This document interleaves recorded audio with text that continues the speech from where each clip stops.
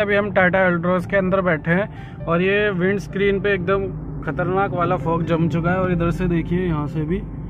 बाहर का कुछ नहीं दिख रहा और इसमें एक बहुत ही प्रीमियम फीचर है, ये प्रीमियम हैचबैक कैटेगरी में आती है ये गाड़ी और इसका जो फीचर है आपको दिखाता हूँ, ये फॉग कैसे एक सेकंड में गायब हो जाएगा। अभी हमने गाड़ी कर दी स्टार्ट और हमारा यहाँ पे जो कंट्रोल पैनल है, यहाँ से हमने कर दिया डिफोगर ऑन और ये देखिए कितने, एक सेकंड में पूरा ये गायब हो जाएगा। देखिए कितने क्विकली ये वैनिश हो चुका है। और यहाँ से भी आप देख सकते हैं, बिल्कुल क्लियर हो गया और यहाँ से भी क्लियर हो गया। तो मेरे को ये सबसे बेस्ट फीचर लगा है इस कार के अंदर। एकदम से पूरा